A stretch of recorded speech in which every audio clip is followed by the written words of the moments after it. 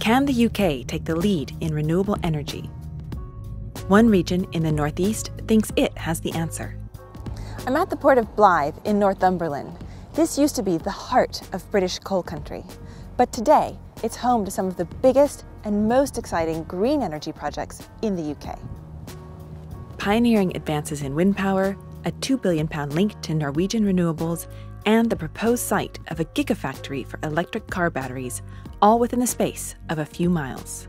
The government is hoping projects like these can paint the country in a green light ahead of the COP26 climate change conference in November, while at the same time boosting its levelling up agenda to bring jobs and prosperity outside London. The offshore renewable energy catapult, right at the centre of the port, has come to symbolise these twin goals. Boris Johnson himself paid a visit to its wind blade testing facility in December last year. Today, it's my turn to take a look around. Hi, Tony. Hi, Leslie, and welcome to the world's largest blade test facility. Let's go see it. Okay, let's go. Opened in 2012, this giant complex has tested some of the world's longest wind turbine blades, some measuring more than 100 meters long. So, Tony, tell me what's happening here in this space. What is going on here? We call it accelerated life testing. So this, this blade is designed for a 25-year life, and we compress that into six months of testing. There are two types of tests we do, a, a static test just to, to pull it, rather like you're bending a ruler when you're at school and making sure that it can withstand its design strength. And the other one is a fatigue test where you bend it uh, as you'd bend a paper clip back and forwards and eventually it would snap. This turbine, when this blade's at 12 o'clock, it's almost equivalent in height to the Eiffel Tower. Now, nowhere else in the world is capable of applying loads at that scale. One rotation of these giant blades generates enough electricity to power a UK home for 24 hours. The fact they are based on a new design is also good for local jobs. You know, this blade in particular is destined for Dogger Bank offshore wind farm. Within probably one month of us completing the test, the owners secured a major contract to supply this blade. And on the back of that, they're committed to building a factory at Teesside, creating 2,000 direct and indirect jobs. Beyond testing, this government backed centre also provides support for research and innovation. So far, it's helped over 800 companies develop new wind and marine energy technologies. And it's just part of the broader transformation underway at the Port of Blyth. I believe in the 1960s, the Port of Blyth exported 6 million tonnes of coal to Europe. Things have moved on. We're ideally situated because we've got the road and rail infrastructure as well as the port facilities. It's almost like a perfect storm. The, the Blyth Valley is set just to move forward and flagship, hopefully, the UK in green energy. The port still handles around 2 million tonnes of cargo every year, but not coal. And today, it's better known as a support base for offshore energy projects in the North Sea. I'm taking to the water to find out why. So can you tell us a bit about all of the different facilities and services that are offered here at, the port? Why has Blyth become such a centre for green energy in particular? So a combination of things really. We have the expertise of the port itself. We have a huge supply chain that plugs in at every possible angle from manufacturing to fabrication to painters, welders, scaffolding companies. So when a company has a project that they're working on, they're able to get everything that they need on site.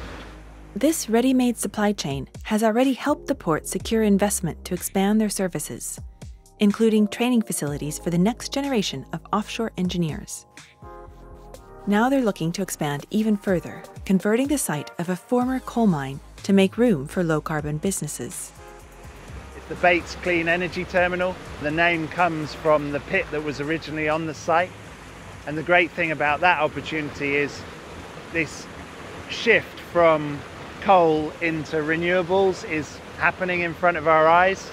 Businesses will be attracted by solar power, electric plant and machinery running on site, and a tie-in with the offshore renewable energy catapult to look at all sorts of technologies to help to decarbonise the nation. Just across the river from the Bates terminal, Cambois is home to another symbol of Northumberland's fossil fuel past. Built in the 1950s, Blyth Power Station burned coal for almost half a century before it was decommissioned in the 90s and eventually demolished in 2003. Largely neglected since then, the site still has an active connection to the UK's electricity grid. And new energy enterprises have started to move in. There's just a great expanse of land which has still got the, the infrastructure that connects directly into the national grid. So as far as electricity production is concerned, you know, you've got a ready-made socket. Basically, you just need to put the plugs in. Now, anywhere, anywhere else, uh, you would have to develop a new network. The North Sea Link will go live this year, bringing in enough electricity to power nearly 1.5 million UK homes. But that electricity isn't being generated in Cambois, it's coming from another country entirely, more than 400 miles across the North Sea. I'm told the roof is the best place to get a sense of how that power gets here. Welcome to the, the roof of the converter station. You get a fantastic view across the, the, the port, the station, the substation. You can see it all from up here. Amazing. So tell me about the North Sea Link. What is it and what is it doing? So the North Sea Link is a huge um, underwater electricity cable between the port of Blyth, um, where we are today, and Norway. And it, it allows us to move renewable energy between Norway and the UK. So on a day like today where the sun's shining and the wind's blowing, we can potentially export energy and when, when we don't have a surplus of renewables in the UK, we can bring in hydropower um, that's produced in Norway. The North Sea Link is the longest interconnector in the world and it took six years and cost nearly £2 billion to build. So Norway may seem like an unlikely energy partner, but given the type of renewable energy each country produces, they're an ideal match.